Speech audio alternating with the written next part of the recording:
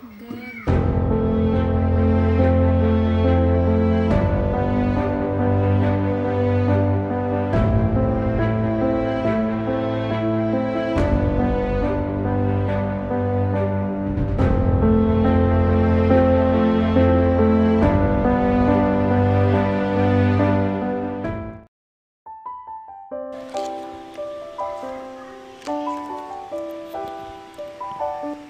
Tâm xin chào bạn đang xem cái đoạn clip này nha. Lúc này là nhóm của Tâm chuẩn bị làm món bánh à, Bánh gì ta? Bánh lúa mạch.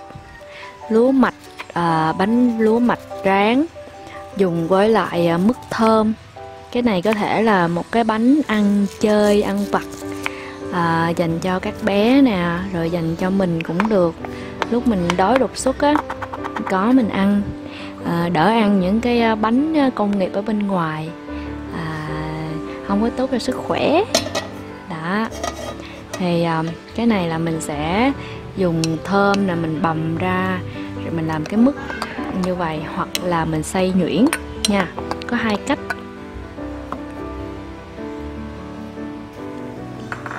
Đó mình bầm nhuyễn thơm rồi mình à, bắt lên bếp à, nấu cho một à, ít đường.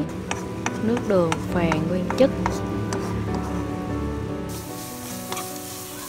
Đó, xong rồi mình à, mình đảo lên xuống, đảo qua lại, cho nó chuyển màu hơi sậm sậm một chút nè.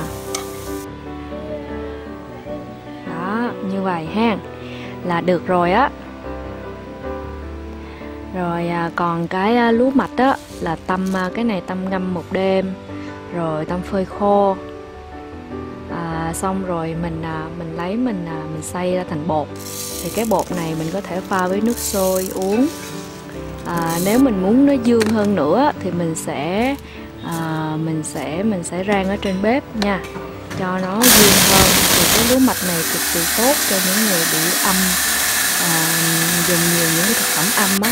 Với lại họ yếu rồi à, tay chân bị lạnh á không thấp á là dùng cái cái lúa mạch này là rất là tốt. Đó xay nhuyễn rồi tâm à, à, thành nó thành cái bột mịn như vậy nè. Nếu như mà nó chưa có mịn hẳn á thì mình sẽ lấy cái rây á mình rây ra cho nó mình dùng cái cái bột mịn đó nha. Đó. Rồi à, trộn với lại bột sắn thì tỷ lệ là khoảng à, 5 phần bột thì khoảng khoảng 3 phần bột sắn. Cái này không cần bột sắn cũng được nhưng mà tâm à, tâm muốn nó có cái độ mềm dẻo hơn á nên tâm cho thêm một ít bột sắn. Vậy đó.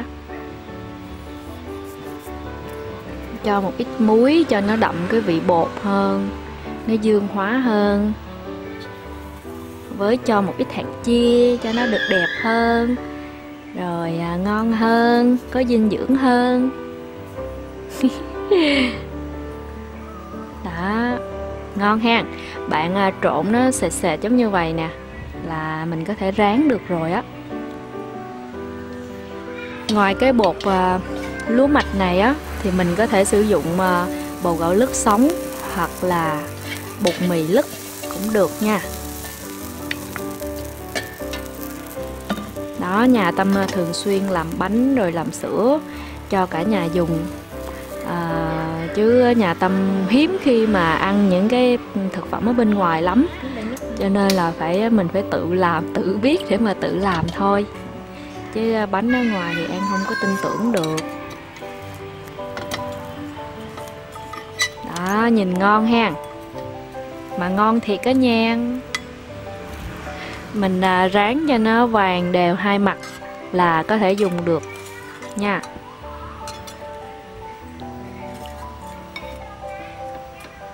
Đó.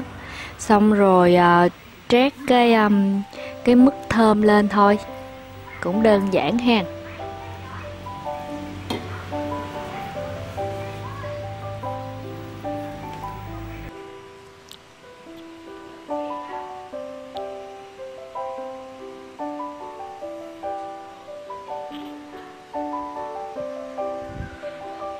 Đó như vậy là xong rồi á rất là dễ làm.